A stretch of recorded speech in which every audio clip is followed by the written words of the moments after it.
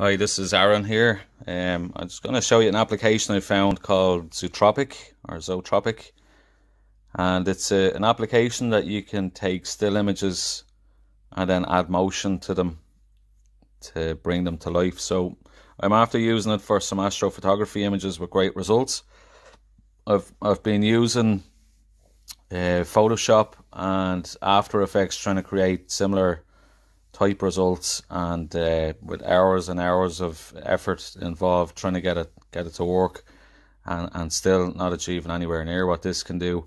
The, the only problem with it is because it's an app and it's uh, really built for mobiles, it's the, the resolution of the final images aren't great, but still I think it creates an amazing result. So hopefully they come out with a Windows version at some stage. If they did, I'd definitely buy it. So uh, so I'll just bring it into the app just to show you how it works.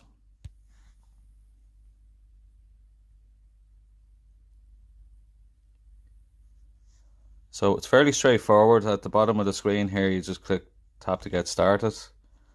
Uh, choose an image from your gallery. So gallery, I'm to choose uh, a picture of Andromeda.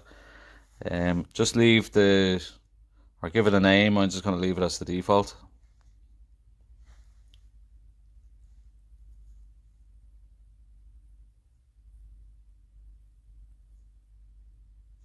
And then you'll see then you're, you're left with a toolbar at the bottom of the screen.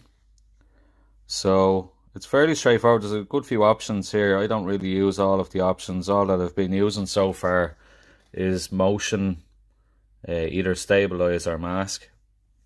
So the, the idea of it is that you mask off the areas that you don't want to move and then you set motion for the areas that you do want to move. So the, the stabilize option is also similar to mask. If you just put dots around the screen, it, it tells those parts not to move.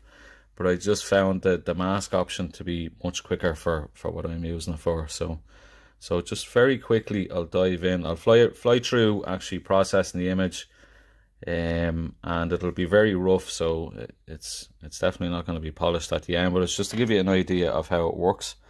So I just select the the motion option at the bottom of the screen the toolbar and then when you actually drag on the screen you can put in arrows. So you can see I can put in a really long arrow and that will create a lot of motion. So if I click play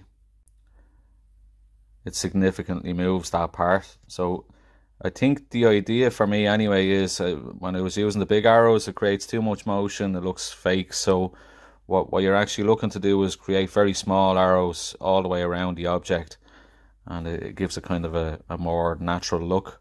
So uh, you also have at the top of the screen you've undo and redo buttons. So I'm just going to undo and start again. So zoom into where we want to be, and then I'm just going to start putting small arrows all around the the dust lanes. So very roughly, like I would have spent a, a good bit of time on this to to get them exactly where I wanted them, and a good bit of time masking it as well. So uh, this is just purely for demonstration purposes.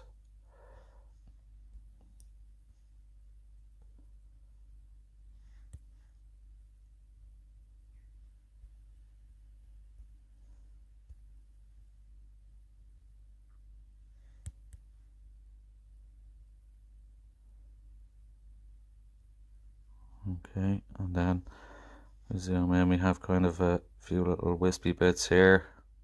Just get them coming in as well. And then I think that's alright for the arrows for now. So the next option that I'm going to choose is the, the mask. Actually, just before I do so, I'm going to click play just to show you what that actually does. So you can see it's spinning, but it kind of gives it a blurry effect because the rest of the object hasn't been masked yet. So if I zoom back in and then choose mask at the bottom of the screen, so you can see it gives you this little red dot and then you can adjust that up and down by the size slider bar at the bottom. So I'm just going to make it about that size there and then I'm going to just drag in it gives you a nice little preview window as well to see where you're actually painting it's handy for uh, when you can't see where your finger is. So I think ideally you should really use a stylus for this. I'm going to see if I can get a stylus for myself to, for kind of doing this a bit more accurately. So I'm just going to paint this bit in here now.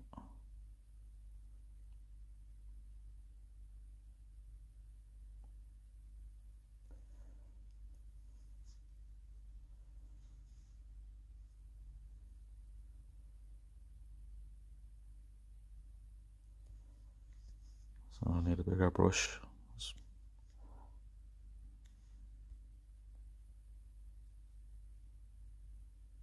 I just after going over some of my lines there, so it's not going to look great. But uh, again, it's just to give you an idea.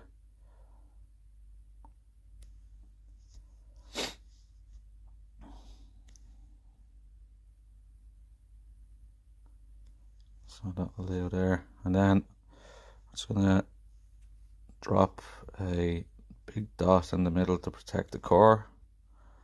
Oh, I won't do that. About there. That's okay.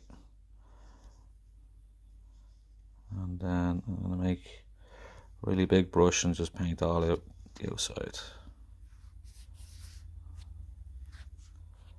Very, very quick. It's actually amazing how quick this tool is. Like, I'd spent hours and hours on Photoshop trying to achieve the same thing, and it's quite poor performance wise as well.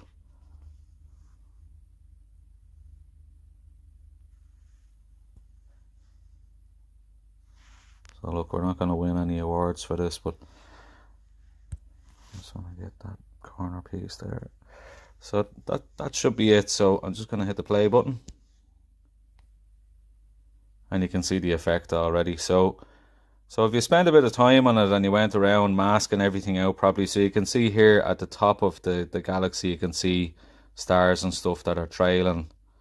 Uh, and and uh, ideally what you want to do, so actually if I zoom in here, drop my brush size down, and then if I just click on that, click on this one, needs to a bit bigger for that one.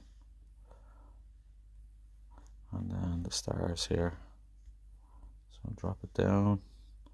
And you can just go around, spend your time masking out these different bits. And then hit play again, see how it looks. I think that looks pretty decent for such a, a rush job. So that's that's it. I think it's a fantastic application. Um, if you have any questions, drop me a message. Uh, otherwise, best best of luck.